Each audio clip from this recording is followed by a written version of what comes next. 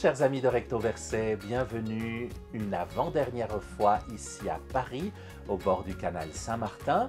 En ce samedi 26 octobre, je vous propose d'aller puiser dans la première lecture du jour. Alors c'est nettement plus ardu que l'évangile de Luc au chapitre 12 qui nous a occupé toute cette semaine, c'est la lettre aux Éphésiens de Paul. déjà Paul, c'est pas toujours facile à comprendre, la lettre aux Éphésiens encore moins.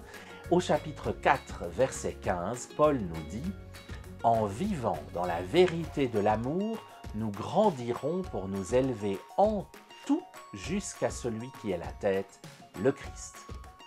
Alors d'abord, cette histoire de tête, eh bien, on la trouve dans une autre lettre de Paul, la première aux Corinthiens, où Paul parle de l'Église comme d'un corps, dont nous sommes les membres, chacun à sa place, et dont le Christ est la tête. Ok, jusque-là, ça va. Mais il y a tout le reste, et c'est dense, ce verset. On nous parle de vivre dans la vérité de l'amour. Alors déjà, vivre dans l'amour tout court, c'est pas simple. Hein? Aimez-vous les uns les autres comme Jésus nous a aimés. Si les 2 milliards de chrétiens de la terre le faisaient, ça se saurait. Et puis, aime ton prochain comme toi-même. Ben là aussi, si on essayait de le faire plus souvent, ça se saurait. Donc, vivre dans l'amour, c'est déjà pas simple.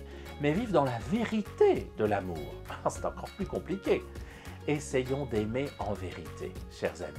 D'aimer les autres, d'aimer Dieu et de nous aimer nous-mêmes, faut pas oublier, en vérité. Essayons d'être vrais dans l'amour que nous répandons autour de nous. Parce que c'est en vivant dans cette vérité de l'amour qu'alors nous nous élevons pas à pas vers la tête de ce corps qu'est l'Église, la tête qui est le Christ. Empruntons donc cet escalier divin qui nous mène pas à pas jusqu'au Christ en vivant dans la vérité de l'amour. Faisons ainsi et retrouvons-nous demain, même écran, même Bible, même canal une dernière fois. D'ici là, soyez bénis.